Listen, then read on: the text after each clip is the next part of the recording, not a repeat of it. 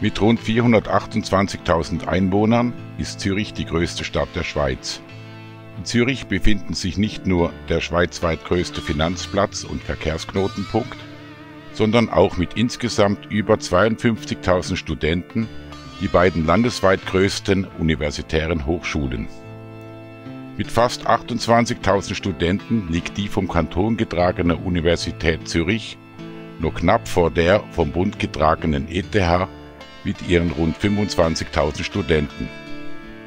Durch die sich ständig vergrößernde Studentenzahl wurde das Areal um die beiden Hochschulgebäude in den letzten beiden Jahrhunderten baulich immer mehr verdichtet.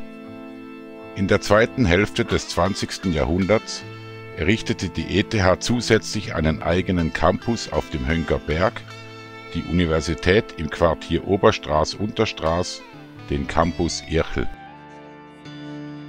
die Architektur des am prominenten Standort über der Altstadt liegenden Hauptgebäudes der Eidgenössischen Polytechnischen Schule, welche seit 1911 offiziell als Eidgenössische Technische Hochschule bezeichnet wird, inspirierte wesentlich den Ausbau der Stadt Zürich von der Provinzstadt zur mondänen Metropole. Heutzutage präsentiert sich das Hochschulquartier als modernes Bildungszentrum bestehend aus historischen und zeitgenössischen Gebäuden mit zahlreichen sehenswerten Ausstellungen und Museen, welche hier erstmals zusammenhängend gezeigt werden.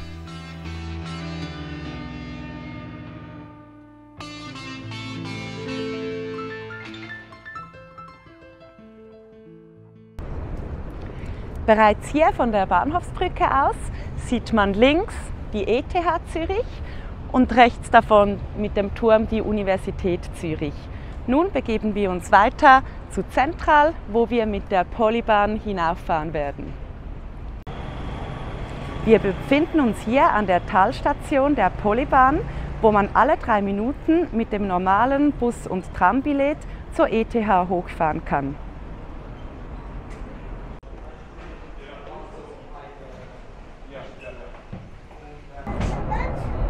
Hier in der Polybahn hängen noch die schönen alten Lampen aus der Ursprungszeit.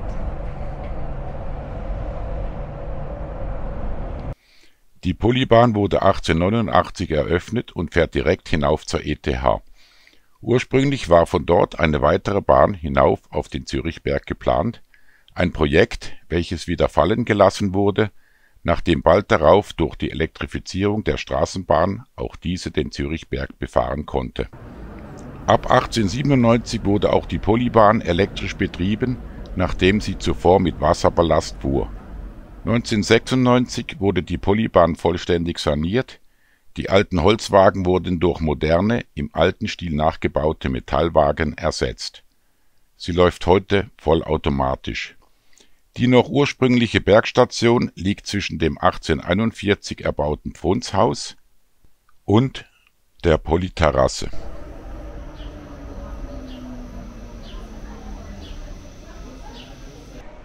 Hier oben an der Bergstation sieht man noch die schönen alten Fenster und einen alten Führerstand. Neben der Bergstation liegt die ETH Zürich und die Polyterrasse. Hier von der Polyterrasse aus hat man eine wunderschöne Aussicht über die gesamte Altstadt von Zürich. Die Polyterrasse wurde 1978 nach den Plänen von Charles Edouard Geisendorf fertiggestellt Sie überdeckt die Leonhardstraße und dient als unauffällige Erweiterung des Hauptgebäudes, indem sie unter anderem eine große Mensa, Cafeteria und eine traumhafte Sportanlage beherbergt. Zuvor verlief die Leonhardstraße direkt über den Vorplatz des Polytechnikums, wobei stadtwärts eine Parkanlage angelegt war. Hier im Hintergrund steht das berühmte ETH-Gebäude Aufgrund dem Eidgenössischen Gesetzesbeschluss vom 7. Februar 1854 wurde am 16. Oktober 1855 in Zürich die Eidgenössische Polytechnische Schule, verteilt auf mehrere auseinanderliegende Gebäude, eröffnet. Nachdem Bern 1848 zur Bundesstadt gewählt wurde, sollte in Zürich als Ausgleich ein monumentales Polytechnikumgebäude entstehen welches in Standort und Repräsentation das damals noch im Bau befindliche, im Vergleich zu heute noch viel kleinere Berner Bundeshaus übertreffen sollte. Hierzu eignete sich der durch den Abbruch der Schanzen frei gewordene Platz auf dem unteren Plateau des Zürichberges, denn dieser ist von der ganzen Stadt aus zu sehen. Am 2. Februar 1859 stimmte der Bundesrat den Plänen des Polytechnikum Architekturprofessors Gottfried Semper und dem Zürcher Staatsbauinspektor Johann Caspar Wolf zu. Semper entwarf das Hauptgebäude, Wolf das aus Sicherheitsgründen separat dahinter liegende Chemiegebäude. 1864 konnte die Polytechnische Schule mit ihren 200 Studenten in das neue Gebäude einziehen. Die Universität belegte dessen Südflügel. Die Chemie war bereits 1860 teilweise bezugsbereit. Noch heute, rund 160 Jahre später, zeigt sich die stadtwärts gerichtete Westfassade und der vordere Teil der beiden Seitenfassaden in fast unveränderter Form. Das Graffito der beiden oberen Stockwerke auf der Nordfassade stammt aus der Erbauungszeit und zeigt unten 17 Medaillons mit dem Porträt berühmter Philosophen, Künstlern und Wissenschaftlern, oben die Wappen der damaligen 22 Schweizer Kantone. Ursprünglich wies das Gebäude zwei als Gartenanlage bepflanzte Innenhöfe auf, getrennt durch den mit einer Klosterkirche vergleichbaren, dreischiffigen eingeschossigen antiken Saal die darin ausgestellten Gipsabgüsse der Skulpturen aus der Antike sollten die Studenten im Sinne der griechischen Philosophie inspirieren. 1915 / 16 wurden nacheinander das alte Chemiegebäude, der einbündige Osttrakt sowie der Antikensaal abgebrochen, um Platz für den Erweiterungsbau von Gustav Gull zu schaffen. Bis 1922 entstanden an die Rämistraße reichende verbreiterte Seitenflügel ein zweibündiger Osttrakt mit einer zentralen Kuppelrotunde und dem neuen Haupteingang gegenüber der Tramhaltestelle. Anstelle des antiken Saales entstand eine viergeschossige Halle, flankiert von zwei Hörsälen, welche in die nach oben offenen Innenhöfe reichten. Zwischen 1966 und 1978 wurden nach den Plänen von Alfred Roth Charles Edouard Geisendorf und der Eidgenössischen Baudirektion die beiden Innenhof-Hörsäle aufgestockt, die Innenhöfe mit Glasdächern abgedeckt und mit Auditorien und Galerien gefüllt. Außerdem wurde die Bibliothek erweitert, auf dem Dach ein Dozentenfoyer errichtet und eine Tiefgarage unter dem östlichen Vorhof erstellt. Wir stehen hier auf der Polyterrasse vor dem alten Haupteingang der ETH. In der noch original erhaltenen Eingangshalle hinter der Westpforte scheint die Zeit stehen geblieben zu sein. Hinter der Treppe befand sich der Antikensaal. Seit dem Umbau von Gustav Gull ist die Halle mehrere Stockwerke hoch.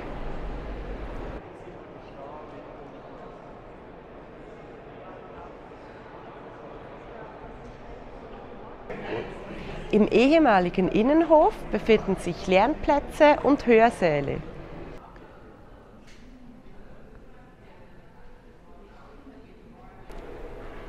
In den östlichen Seitenflügeln von Gustav Gull befinden sich Wandmalereien aus der Industriezeit. Die meisten dieser 28 Gemälde stammen vom Architekten und Landschaftsmaler Wilhelm Ludwig Lehmann und wurden zwischen 1921 und 31 gefertigt. Die Öl-auf-Leinwand-Gemälde wurden auf die Wand aufgezogen. Noch heute wird das Gebäude ständig um und ausgebaut. Unter der Kuppel liegt das von Marian Burkhalter und Christian Sumi 1997 ausgestattete Visdom darunter der Lesesaal der ETH-Bibliothek. Im Raum E43 befindet sich das Thomas-Mann-Archiv, wo sein ehemaliges Büro aufgebaut wurde.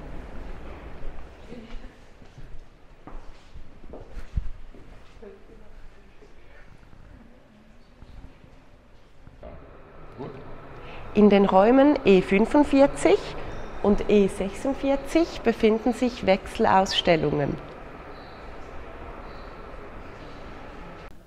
Stadtwärts, am Ende des Ganges im Raum E53, liegt die grafische Sammlung. In dieser Wechselausstellung wird die Grafiksammlung der ETH jeweils geordnet nach temporären Themen gezeigt. Diesmal werden Zeichnungen zum Thema Wolken präsentiert wie dieses Porträt von Arnold Böcklin mit Wolkenhintergrund. Im Prinzip ist das gesamte Gebäude ein Museum. Hier Augusto Giacometti 1935 oder dort Wilhelm Grimm 1955 oder die Semper-Aula aus der Ursprungszeit des Gebäudes, ausgestattet als Kunstraum. Für Interessierte wird eine Gebäudeführung empfohlen. Wir verlassen das ETH-Hauptgebäude durch den Haupteingang Ost und begeben uns etwas aufwärts entlang der Remistraße zur Kreuzung Remistraße-Tannenstraße welche als Ausgangspunkt unserer vier Gebiete zur Besichtigung der Fachgebäude dient. Als erstes interessieren uns die Gebäude rechts der Rämi bzw. Universitätsstraße bis hinauf zur Haldenbachstraße. Als nächstes kehren wir zurück Richtung Hauptgebäude, um die ETH-Bauten links der Universitätsstraße und Tannenstraße zu besichtigen Danach begeben wir uns ins Universitätsspitalareal und kehren über die Gloriastraße zurück zur Rämistraße zur Besichtigung der Gebäude der Universität Zürich, welche abwärts der Rämistraße liegen. Hier an der Kreuzung Tannenstraße-Remistraße steht rechts das Land- und Forstwirtschaftliche Institut und links das Chemiegebäude. Am Ende der Tannenstraße an der heutigen Universitätsstraße 2 entstand 1874 das Gebäude der Eidgenössischen Land und Forstwirtschaftlichen Schule. Der Architekt und Zürcher Staatsbauinspektor Johann Jakob Müller orientierte sich bei der Fassadengestaltung an Sempers Hauptgebäude. 1915, nach der Erweiterung des Gebäudes durch Gustav Gull, zeigte sich eine neue Fassade zwei vorspringende Seitenflügel und eine deutliche Verlängerung in Richtung Schmelzbergstraße, wo eine große Terrasse zum Pflanzenanbau geschaffen wurde. 1923 fügte Gustav Gull das Institut für Haustierernährung direkt neben dem Chemiegebäude hinzu, in welchem Tierhaltung erfolgte. 1941 erstellte William Dunkel drei Gewächshäuser auf einem Sockelgeschoss und stockte 1955 den hinteren Teil der Land und Forstwirtschaft auf. 1956 war auch Dunkels hoher Bürotrakt hinter dem Gewächshaus erstellt. Zwischen 1985 und 93 wurde die Land und Forstwirtschaft saniert und ausgebaut. Mitte der 1980er wurde das Gewächshaus durch einen gelben Bürotrakt ersetzt, Gustav Gulls kleines Gebäude für Haustierernährung und der hohe Bürotrakt von William Dunkel stehen noch heute.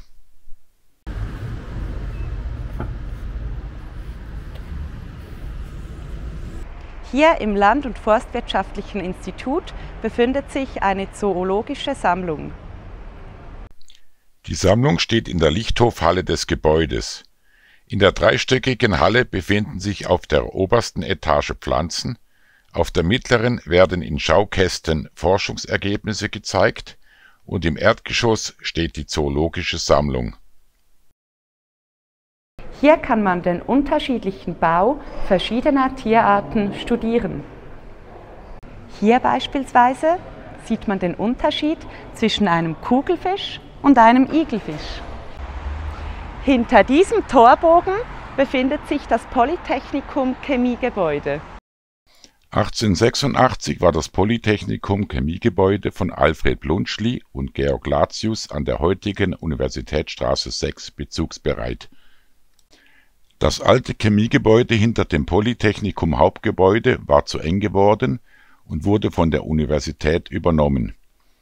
Der viergeschossige Haupttrakt des Chemiegebäudes wird symmetrisch flankiert von zweigeschossigen Seitenflügeln 1937 folgte ein hinterer Erweiterungsbau durch Otto Salvisberg, 1960 die Aufstockung der beiden rückwärtigen Seitenflügel. 1956 war links neben der Chemie an der Universitätsstraße 8 der erste Erweiterungskomplex für organische Chemie erstellt worden. Hier im Chemiegebäude befindet sich ein Chemielaboratorium für Studenten, welches zum Studienraum umgebaut wurde. Die hohen Gänge mit Säulen und Bögen spiegeln den Zeitgeist ihrer Entstehung wider. Im Raum F31 befindet sich ein altes Studentenlabor, welches dezent als Studienraum umgebaut wurde. Tatsächlich entsteht hier noch der Flair der alten Laborräume des 19. Jahrhunderts. Weiter oben an der Universitätsstraße wurden neben dem Erweiterungsbau in den nächsten Jahrzehnten noch zwei weitere Gebäudekomplexe erstellt, welche bis zum Ende der Baumallee rechts reichen. Hierzu wurden die entsprechenden Grundstücke erworben und die Wohnhäuser abgerissen. An der Kreuzung Spönli-Straße – Universitätsstraße entstand 1962 die Physikalische Chemie wo Richard Ernst und Kurt Wüthrich ihre Nobelpreise erarbeiteten. 1975 wurde der weiter unten liegende zweite Erweiterungsbau mit seinem Hochhaus fertiggestellt. Heute befinden sich im alten Chemiegebäude die Computerwissenschaften und in den neueren Gebäuden die Umweltwissenschaften. Hier an der Haldenbachstraße 14 befindet sich das Moulagenmuseum. Etwas oberhalb der neueren Chemiegebäude, neben der Tramhaltestelle Haldenbach, liegt das Moulagenmuseum des Universitätsspitals Zürich. Moulagen sind Wachsabgüsse von Hautkrankheiten lebender Menschen. Diese wurden direkt beim Patienten bemalt, was eine authentische Darstellung der Krankheit ergibt. In diesem kleinen Museum werden 600 der rund 2000 Exponate umfassenden Sammlung ausgestellt es dient Medizinstudenten zur Prüfungsvorbereitung und ist am Mittwoch und Samstag jeweils nachmittags als öffentliche Ausstellung zugänglich. Die zum Teil über 100 Jahre alten Präparate zeigen auch Krankheiten wie dieses tuberkulosebedingte Zungengeschwür oder diese fortgeschrittene Syphilis-Hautmanifestation, welche man aufgrund der heutigen frühzeitigen Antibiotikatherapie nicht mehr sieht hier ein durch Parasiten verursachtes großflächiges Ekzem der Schamregion, dort ein durch Bakterien verursachter Furunkel im Gesicht. Seit der allgemeinen Einführung der Farbfotografie in den 1950ern werden praktisch keine Moulagen mehr hergestellt. Wir verlassen das Moulagemuseum und kehren zurück Richtung ETH Hauptgebäude, um das Areal nördlich der Tannenstraße zu erkunden hier im Naturwissenschaftlichen Institut befindet sich unter anderem das Geologische Museum. An der heutigen Sonnegstraße 5 wurde 1912 auf dem Grundstück der ehemaligen Brauerei Seiler und der Wiese talwärts der Clausiusstraße das von Gustav Gull entworfene Naturwissenschaftliche Institut der ETH fertiggestellt. Die Hauptfassade an der Sonneckstraße wies über den beiden Eingangsbögen Giebeldächer auf, welche in die Seitenflügel führten. Zusammen mit dem Hinterflügel gegen die Clausiusstraße bildeten sie eine glasbedeckte viergeschossige Lichthofhalle, wo die naturwissenschaftliche Sammlung präsentiert wurde. Nach den Plänen von Alfred Roth war 1971 das Gebäude um 40 Prozent Nutzfläche vergrößert worden indem es aufgestockt wurde und die beiden unteren Stockwerke des viergeschossigen Lichthofes mit einem Hörsaal, zwei Auditorien und darüber einem Sammlungsraum ausgefüllt wurden. Nach dem zweiten Umbau war 2009 der Sammlungsraum entfernt worden, so dass heute die Lichthofhalle dreigeschossig ist und dadurch wieder imposanter wirkt der Brückenbau über die Clausiusstraße sowie der Westteil des Gebäudes wurden nicht aufgestockt und erscheinen heute äußerlich in ihrer ursprünglichen Bauweise.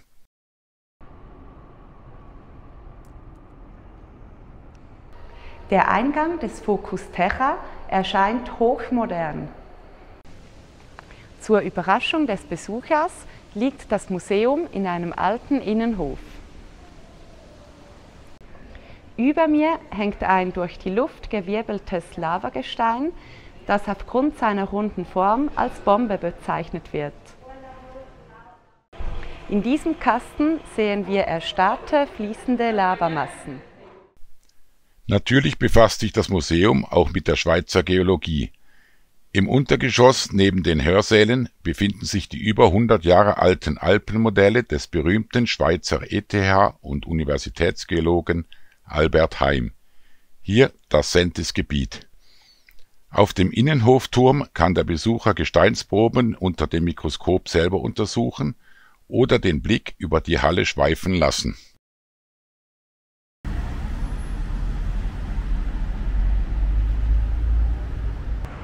Hinter dieser Fassade verbirgt sich das alte Maschinenbaulaboratorium. Schräg gegenüber der Land- und Forstwirtschaft bzw. Chemie wurde im Jahr 1900 an der Sonnegstraße 3 das von Benjamin Recordon entworfene Polytechnikum Maschinenbaulaboratorium eröffnet. Im charakteristischen hohen Turm lagerten Hoch- und Niederdruckwasserbehälter für hydraulische Versuche auf der Rückseite gegen die Clausiusstraße war eine eingeschossige Maschinenhalle mit einem Rundbogenportal angebaut worden, daneben ein kleines Heizwerk, welches zum Teil in der Maschinenhalle untergebracht war. Bereits 1909 wurden aus Platzgründen Erweiterungsprojekte geplant. Durch den Ersten Weltkrieg und die Weltwirtschaftskrise wurde erst 1930 mit dem Um und Erweiterungsbau nach den Plänen von Otto Rudolf Salwisberg begonnen die Fassade des Altbaus wurde dem neuen Erweiterungsbau angeglichen und es entstand eine große Dachterrasse, welche 1948 aufgestockt wurde. Das kleine Heizwerk wurde in den 1930ern von Salwisberg durch ein großes Fernheizkraftwerk mit einem Hochkamin und Kühlturm ersetzt. Nachdem die Privatgrundstücke an der Tannenstraße erworben werden konnten war 1972 das Maschinenbaulaboratorium II von Charles Edouard Geissendorf erstellt worden.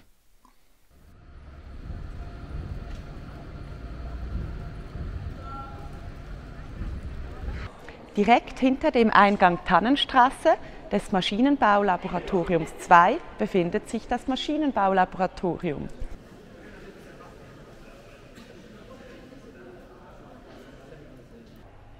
Hier unten befindet sich die Halle des alten Maschinenbaulaboratoriums. Im Stockwerk J des alten Maschinenbaulaboratoriums zeigen sich die Gänge vor den Seminarräumen noch weitgehend im Ausbaustil der 1930er Jahre. Die aufgestellten Verbrennungsmotoren sind meist jünger. Nun gehen wir Richtung Polybahn zum EMPA-Gebäude.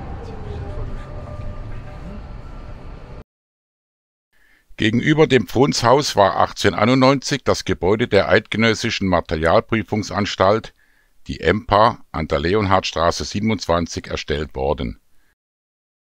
Das zweistöckige Gebäude mit zwei einstöckigen Seitenflügeln war bald zu klein geworden, so dass es 1907 im selben Baustil insgesamt um eine Etage aufgestockt wurde 1998 wurde das dahinterliegende hellblaue Institutsgebäude Clausiusstraße fertiggestellt. Der Raum zwischen diesem Gebäude und der Empa wird durch eine lange Glashalle ausgefüllt. Diese ist durch den Eingang Tannenstraße 3 direkt hinter der alten Villa leicht erreichbar.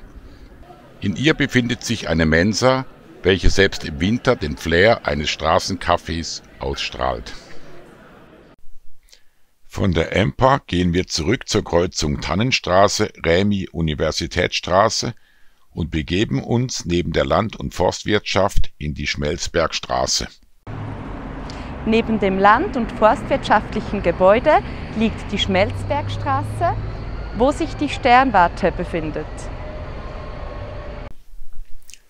Von 1861 bis 1864 wurde auf der grünen Wiese unweit des Universitätsspitals die von Gottfried Semper entworfene Eidgenössische Sternwarte erbaut. Das Observatorium war von internationaler Bedeutung bei der Erforschung der Sonne. 1911 wurde das kleine Observatorium beim heutigen Eingangsbogen hinzugefügt, 1952 der Sonnenbeobachtungsturm. Nachdem die umliegenden Gebäude immer näher rückten wurde der Betrieb der Sternwarte 1980 eingestellt. Von 1995 bis 1997 wurde die Sternwarte aufwendig restauriert. Die Beobachtungskuppel kann in Führungen besucht werden, das kleine Museum im Erdgeschoss ist für Besucher geöffnet. Hier ist der Eingang zum Museum. Diese kleine, aber feine Ausstellung gibt einen Einblick in die Astronomieforschung des 19. Jahrhunderts. In diesem Museum befinden sich astronomische Instrumente aus der Sammlung von Professor Rudolf Wolf. Hier die Sonnenuhren. Und hier Vermessungsgeräte.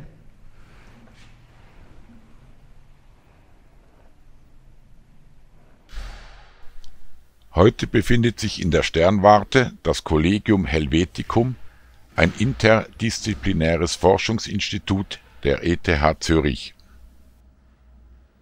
Beim Ausgang der Sternwarte am Ende der Sternwartstraße lag früher das alte Physikgebäude. Hier an der Gloriastraße 35, wo heute dieses braune Bauwerk steht, stand früher das alte Physikgebäude. Abseits, inmitten der Reben, wurde 1890 das von Alfred Blunschli entworfene Polytechnikum Physikgebäude fertiggestellt.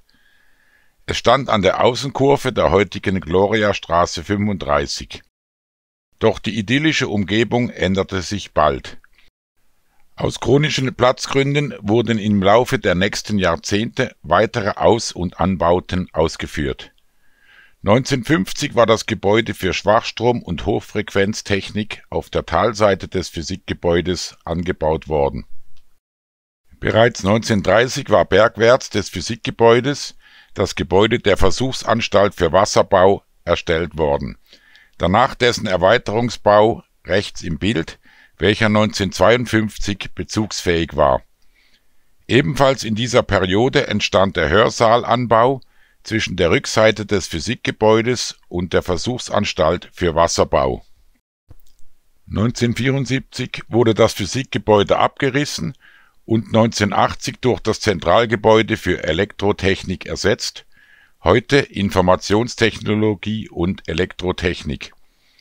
2016 erlitt die dahinterliegende Versuchsanstalt für Wasserbau dasselbe Schicksal die Natursteinmauer am hinteren Ende des Gebäudes für Schwachstrom und Hochfrequenztechnik symbolisiert noch heute die Westfassade des alten Physikgebäudes, dem ersten ETH-Bauwerk auf diesem Areal. Etwas weiter unten an der Gloriastraße 19 befinden sich die Überbleibsel der alten Anatomie Unterhalb des Physikgebäudes war zwischen 1837 und 1842 das langgestreckte Universitätsspital nach den Plänen von Gustav Albert Wegmann und Leonhard Zeugherr erstellt worden. Die Anatomie lag an dessen Ende als separates Gebäude.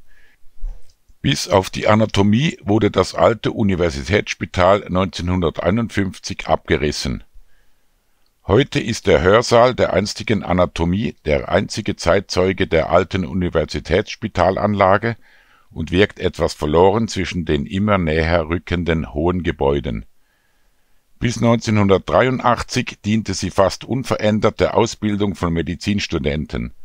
Danach wurde sie aufwendig zum modernen Ausbildungszentrum für Pflegeberufe umgebaut 2023 wurde dieses einstige Mikroskopier und Präpariergebäude abgerissen, um dem bergwärts im Bau befindlichen achtstöckigen Spitalkomplex seine maximale Größe zu ermöglichen. Im Inneren wurde die Anatomie in den 1980ern im modernen Stil umgebaut. In der 200 Meter entfernten Pathologie neben der Sternwarte befindet sich noch dieser restaurierte alte Hörsaal der weitaus ältere und schönere Hörsaal im Anatomiegebäude wurde vor 40 Jahren durch zwei Schulungsräume ersetzt. Bis in die Mitte der 1930er verlief die Gloriastraße in einem Bogen um die Anatomie und mündete am Ende des Parks zusammen mit der Zufahrtsstraße zum Zentralgebäude des langgestreckten Universitätsspitals in die Remistraße Heute ist dieser alte Teil der Gloriastraße ein Parkplatz, welcher aber mit der Fertigstellung des derzeit im Bau befindlichen Universitätsspitalkomplexes oberhalb der Anatomie bald in eine Grünanlage umgewandelt wird. Gegenüber der alten Kreuzung entstand 1894 die Augenklinik des Universitätsspitals. Weiter südlich der Remistraße in der verlängerten Achse des Anatomiehörsaales war bereits 1884 das Physik und Physiologiegebäude fertiggestellt worden. Auf der anderen Seite, etwas weiter abwärts der Remistraße, war 1908 die Erweiterung der Kantonsschule und das Chemielabor der Universität bezugsbereit. Die bereits 1842 erstellte Kantonsschule liegt etwas tiefer im Bogen der Remistraße. Das Hauptgebäude der Universität war erst 1914 bezugsfertig. 1894 wurde an der alten Kreuzung Gloriastraße-Remistraße an der heutigen Remistraße 73 die Augenklinik des Universitätsspitals eröffnet das Gebäude wurde entworfen vom Semperschüler und Staatsbauinspektor Otto Weber. 1953 übersiedelte die Augenklinik in das neu erstellte Universitätsspital, so dass nach geringfügigen Änderungen der Innenräume das Archäologische Institut mit seiner Sammlung und die Kunstgeschichte einzog. Mit dem Bau des dahinterliegenden Universitätshauptgebäudes wurde erst 18 Jahre später im Jahr 1912 begonnen. Hinter dieser Tür kann die archäologische Sammlung besucht werden.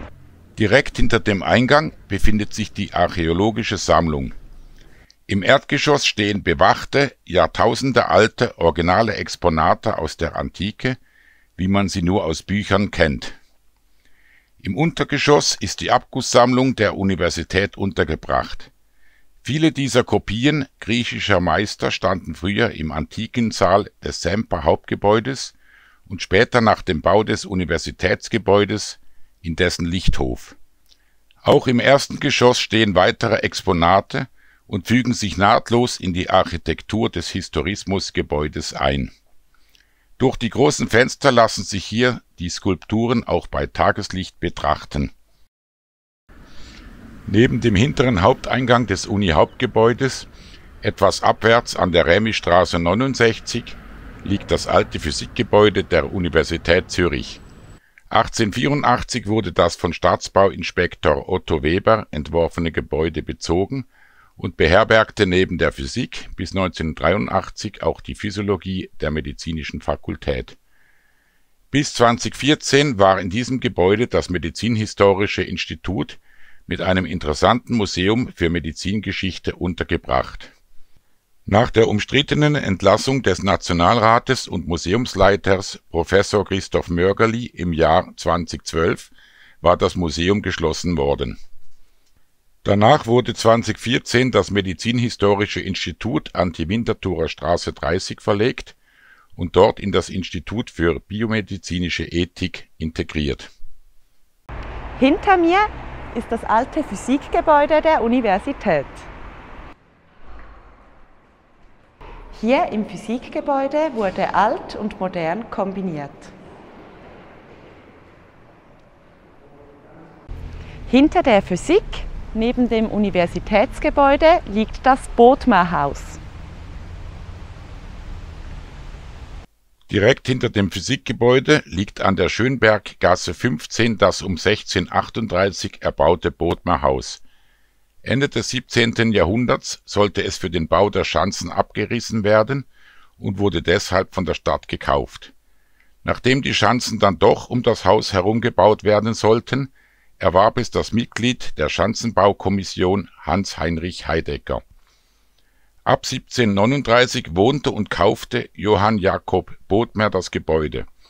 Als Professor für helvetische Geschichte und Politik am 1525 gegründeten Collegium Carolinum, welches heute als Rechtsvorgänger der Universität Zürich angesehen wird, bekam er unter anderem 1775 und 1779 Besuch von Goethe Heute gehört dieses Gebäude zur Universität Zürich Hier sind wir vor dem Eingang des alten Chemiegebäudes der Universität. 1908 wurde das von Hermann Fietz senior entworfene Gebäude für das Chemielabor der Universität und die Erweiterung der Kantonsschule an der Remistraße 7476 eröffnet.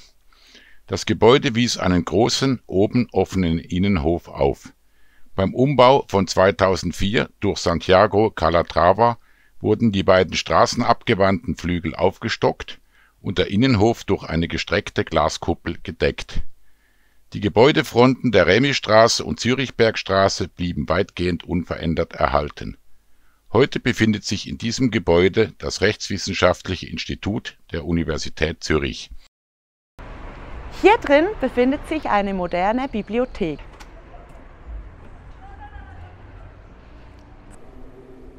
Hier sind wir im Inneren des Unichemie-Gebäudes.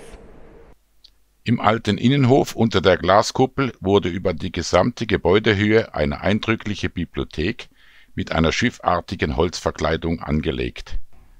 Während des zwölf Sekunden dauernden Aufstieges mit dem Glaslift laufen die Etagen des Lesesaales wie ein Film vor den Augen des Besuchers ab.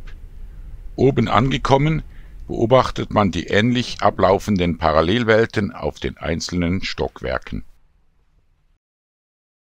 Gegenüber dem Südflügel der Chemie an der Zürich-Bergstraße 8 entstand 1866 im Auftrag des Zürcher Baumwollhändlers Johann Heinrich Vierz ein von Gottfried Semper entworfenes Geschäfts und Lagerhaus mit privaten Wohnräumen. 1910 wurde das Gebäude von der Stadt erworben und nach dessen Umbau zog die kantonale Zahnärztliche Schule ein. Die Rückseite der Villa Vierz mit ihrem ursprünglichen Eingang stellt sich als Stadtpalais im Renaissancestil dar. Heute beherbergt dieses Gebäude das romanische Seminar der Universität. Hinter mir liegt das alte Rämibühl-Schulhaus. 1842 wurde die Kantonsschule Rämibühl an der Remistraße 59 bezogen. Gustav Albert Wegmann entwarf sie nach dem Vorbild der Berliner Bauakademie die große Parkanlage erstreckte sich weit hinab bis zum Heimplatz. Erst der 2021 fertiggestellte Erweiterungsbau des Kunsthauses schnitt das Schulhaus vom Heimplatz ab. Bis 1976 war das Gymnasium, abgesehen von wenigen Ausnahmen, eine reine Knabenschule. Die Mädchen wurden an den städtischen höheren Töchterschulen in Zürich und Winterthur unterrichtet Heutzutage ist das Schulhaus von der Universität belegt. Im Inneren befindet sich ein kleiner Lichthof.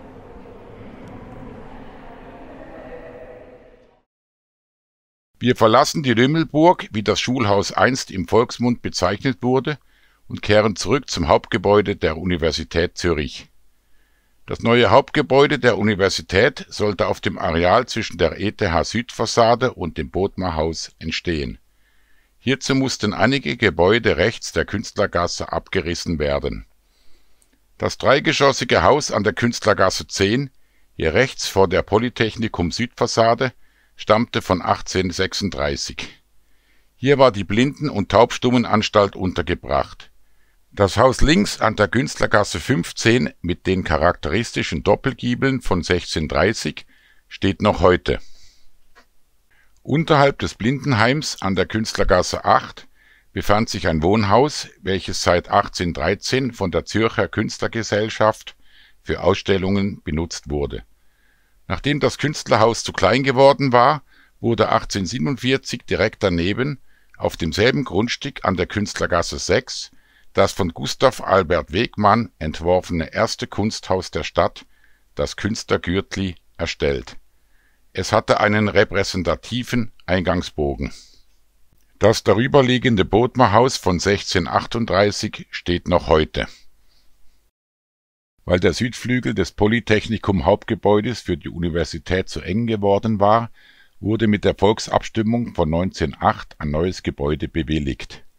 So wurde zwischen 1912 bis 14 direkt neben der ETH das Universität Hauptgebäude nach den Plänen von Robert Curiel und Karl Moser erstellt.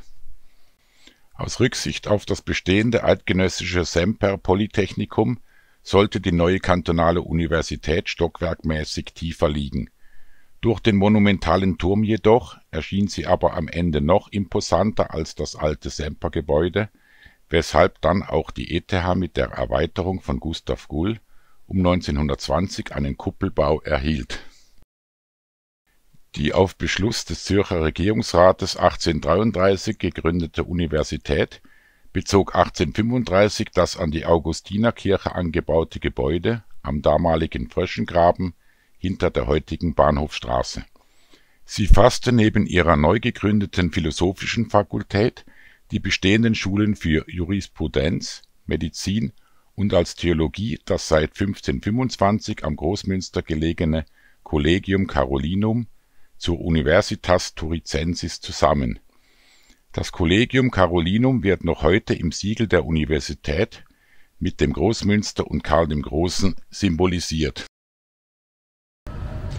Die Universität Zürich ist die erste Universität, welche von einem demokratischen Staatswesen gegründet wurde und eine der ersten Universitäten im deutschsprachigen Raum, an welcher bereits 1840 Frauen zugelassen waren nach der Fertigstellung des Polytechnikum-Hauptgebäudes 1864 zog die Universität in dessen Südflügel und 1914 in das neu erstellte Universität-Hauptgebäude. Die archäologische Abgusssammlung, welche zuvor vor allem in der Mittelhalle des Polytechnikums stand, wurde nun im imposanten Lichthof des Uni-Hauptgebäudes ausgestellt bis sie 1953 im Gebäude der ehemaligen Augenklinik untergebracht wurde, wo sich von da an auch das Archäologische Institut befand. Noch heute befinden sich in der Lichthofhalle des Hauptgebäudes die Reliefs aus der Ursprungszeit des Gebäudes. Heutzutage wird die Halle als Cafeteria, Diskussions- und Selbststudienraum benutzt. Der Lichthof ist das eigentliche Zentrum des Gebäudes die ihn umgebenden Gänge führen in die Büros, Vorlesungs- und Seminarräume. In der Aula hielt Winston Churchill 1946 seine bekannte Rede an die akademische Jugend der Welt. Im Nordtrakt des Hauptgebäudes gegenüber der ETH-Südfassade an der Karl-Schmid-Straße 4 befindet sich ein auch für Kinder geeignetes, beliebtes Ausflugsziel das Naturhistorische Museum der Universität Zürich. Hinter uns befindet sich der Eingang des Naturhistorischen Museums der Universität Zürich. Hier sieht man einheimische Vögel.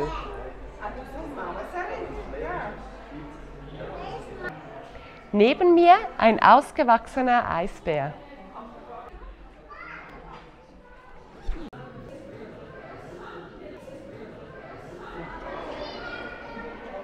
Hier ist das Skelett eines Riesenfaultieres. Dort ein Riesengürteltier.